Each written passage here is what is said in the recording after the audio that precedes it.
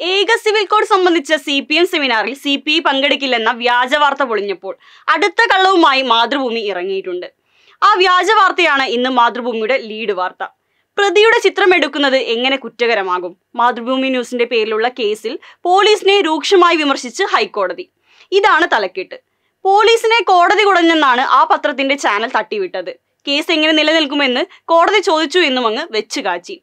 ഒരു സംഭവം കിട്ടിയാൽ വളച്ചൊടിച്ച് വാർത്തകൾ സൃഷ്ടിക്കുന്നത് എപ്പോഴും കാണാറുള്ളതാണ്. പക്ഷെ മാതൃഭൂമിയുടേത് ഒരു വല്ലാത്ത ഒടിക്കലായിപ്പോയി. ഹൈക്കോടതിയുടെ വായിലിരിക്കുന്നത് മുഴുവൻ കേട്ടത് മാതൃഭൂമി. എന്നിട്ട് വന്ന വാർത്തയോ വിമർശനം പോലീസിനായി. അപ്പൊ ചോദിക്കും എന്താണ് തെളിവെന്ന്. തെളിവുണ്ട്. കോടതി വിധി ഉൾപ്പെടെ വിശദമായി തന്നെ പരിശോധിക്കാം. എന്നിട്ടാവാം ബാക്കി. ഇനി ഇതിൽ എന്താ പറയുന്നതെന്ന് നോക്കാം. ട്രെയിൻ തീവെപ്പ് കേസിലെ പോലീസ് അന്വേഷണം തടസ്സപ്പെടുത്താൻ ശ്രമിച്ചതാണ് മാതൃഭൂമിക്കെതിരെയുള്ള കേസ്. മാതൃഭൂമി നൽകിയ റിട്ട് പെറ്റീഷൻ കോടതി അനുവദിച്ചിട്ടില്ല. പെറ്റീഷൻ തീർപ്പാക്കിയ കോടതി പോലീസ് അന്വേഷണം തുടരാനുള്ള അനുമതി നൽകി. പോലീസിന്റെ ഭാഗത്തു നിന്ന് ദ്രോഹമുണ്ടായി എന്ന ഹർജിക്കാരുടെ വാദവും സർക്കാരിന്റെ വിശദീകരണം സ്വീകരിച്ച കോടതി അംഗീകരിച്ചില്ല. റിട്ട് പെറ്റീഷൻ തീർപ്പാക്കിക്കൊണ്ട് നാല് കാര്യങ്ങളാണ് ജസ്റ്റിസ് പി വി കുഞ്ഞികൃഷ്ണൻ അക്കമിട്ട് വ്യക്തമാക്കിയത്. അവ എന്താണെന്ന് ഒന്ന് നോക്കാം. The submission of the government pleaded that there is no police harassment from the side of respondents 1 to 3 and the police is only doing their duties in accordance with the provisions of the Criminal Procedure Code is recorded. അതായത് criminal നടപടി ചട്ടപ്രകാരം തങ്ങളിൽ നിക്ഷിപ്തമായ ഡ്യൂട്ടിയാണ് police ചെയ്തതെന്നും police പീഡനം ഉണ്ടായിട്ടില്ല എന്നുമുള്ള government പ്ലീഡറുടെ സബ്മിഷൻ രേഖപ്പെടുത്തുന്നു the four respondent will look into exhibit P six and P fourteen and take appropriate steps in accordance with the law after giving an opportunity of hearing to a representative of the petitioners as expeditiously as possible at any rate within a period of one month from the date of receipt of a certified copy of this judgment. ഇതിൽ പറയുന്നത് മാതൃഭൂമി പ്രവർത്തകൻ നൽകിയ പരാതിയും Mathrubhumi M D നൽകിയ നിവേദനവും സംസ്ഥാന police തലവൻ മതിയായ നടപടിക്രമങ്ങൾ പാലിച്ചുകൊണ്ട് പരാതിക്കാരുടെ ഭാഗം കൂടി കേട്ട് ഒരു മാസത്തിനുള്ളിൽ തീർപ്പാക്കണം എന്നാണ്. I make it clear that the police is free to continue with investigation based on F I R and take appreciate steps in accordance with this law കാര്യം വ്യക്തമാക്കാം. എഫ് ഐ ആറിന്റെ അടിസ്ഥാനത്തിൽ അന്വേഷണം തുടരാനും നിയമപ്രകാരമുള്ള ഉചിതമായ നടപടികൾ സ്വീകരിക്കാനും പോലീസിന് സ്വാതന്ത്ര്യമുണ്ടാകും.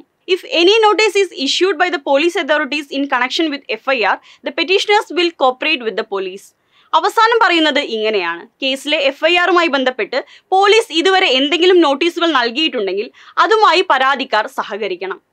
ഇതിൽ എവിടെയാണ് പോലീസിനെ ഹൈക്കോടതി വിമർശിക്കുന്നത്? ഇത്ര വ്യക്തമായി കോടതി വിധി പ്രഖ്യാപിച്ചിട്ടും പോലീസിനെ കോടതി വിമർശിച്ചു എന്ന തരത്തിൽ വാർത്ത പ്രചരിപ്പിക്കുന്ന മാതൃഭൂമിയെ സത്യത്തിൽ എന്താണ് വിളിക്കേണ്ടത്? വിധിയിൽ പോലീസിനെതിരെ പരാമർശങ്ങൾ ഉണ്ടായിട്ടില്ല. പരിഗണനാ വേളയിൽ കോടതി ചില ചോദ്യങ്ങൾ ചോദിച്ചു. അത് അഭിപ്രായ പ്രകടനമാണ്. തീരുമാനത്തിലേക്ക് എത്തിക്കാൻ സഹായകരമായ വസ്തുതകൾ മനസ്സിലാക്കാനുള്ള സ്വാഭാവികമായ ചില ചോദ്യങ്ങൾ. കേസ് പരിഗണിക്കുന്ന ഘട്ടത്തിൽ കോടതി നടത്തുന്ന പരാമർശങ്ങൾ കോടതിയുടെ അന്തിമ അഭിപ്രായങ്ങളായി മാധ്യമങ്ങൾ ചിത്രീകരിക്കാൻ പാടില്ല എന്നത് പരമോന്നത നീതിപീഠം തന്നെ വ്യക്തമാക്കിയിട്ടുള്ളതാണ്. അതും ഭേദിച്ച് ഇത്തരത്തിൽ വാർത്ത കൊടുക്കുന്ന മാതൃഭൂമിയുടെ തൊലിക്കെട്ടി അപാരം തന്നെ. മാതൃഭൂമി അന്വേഷണവുമായി സഹകരിക്കണമെന്നും വിധിയിലുണ്ട്.